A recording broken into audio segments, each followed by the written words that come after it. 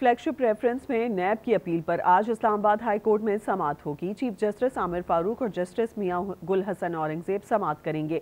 एहतसाब अदालत ने दिसंबर 2018 में रेफरेंस में नवाज़ शरीफ को बरी किया था।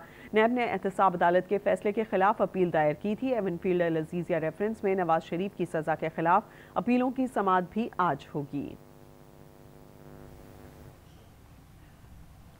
फ्लैगशिप रेफरेंस में नैब की अपील पर आज इस्लामाबाद हाई कोर्ट में समात होगी। चीफ जस्टिस आमिर फारूक और जस्टिस मियाँ गुल हसन औरंगज़ेब समात करेंगे।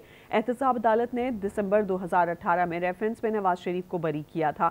नैब ने एहतसाब अदालत के फैसले के खिलाफ अपील दायर की थी। एवनफील्ड लजीजिया रेफरेंस में नवाज़ शरीफ की सजा के खिलाफ अपीलों की समात भी आज होगी।